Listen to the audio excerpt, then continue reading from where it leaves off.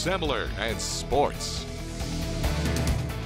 Welcome back. To the best 1A boys basketball matchup in the state Friday takes place right here in the Wabash Valley. Unbeaten and top-ranked Barr-Reeve visits their rivals number 8 Loogootee. The Lions are having their best season in three years, but they'll face their toughest test of the season tomorrow. Barr-Reeve has owned this series lately, winning 10 straight.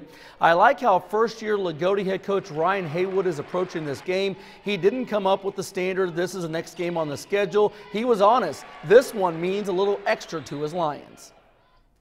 Coach speak wise, I think I'm supposed to say, you know, it would move us to 11 and 3, put us in position to win the blue chip conference. But I think all of us know that it would be much more than that. Um, it'd be huge for our program. We haven't beat them, you know, in, in several years now. I think since the state championship team. So, um, you know, it, it, would be huge for our kids, confidence-wise. You want to get everybody's best shot, and uh, we, we realize that we're going to get that. We're going to be playing a very good basketball team, and uh, we'll have to play well. And that's what you have to do in the tournament to be able to advance. So this is going to be a tournament atmosphere game for us tomorrow night, and we're very excited about that.